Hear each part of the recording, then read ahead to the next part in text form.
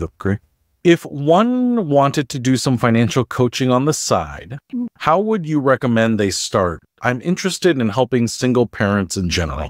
I would start the same way that I would also start if somebody wanted to pursue financial coaching kind of full time.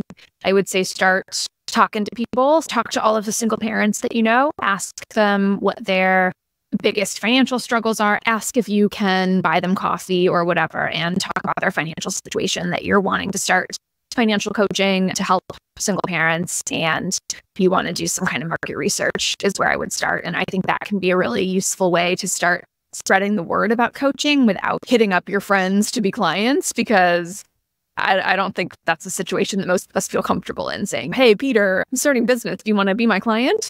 Whereas I could say, Hey, Peter, can I pick your brain? And as my friend, you'd probably say yes. And then maybe you'll think, oh, I don't need Kate's help. But actually, there's a parent at my school who just went through a divorce and maybe they could use Kate's help. Let me pass on her information.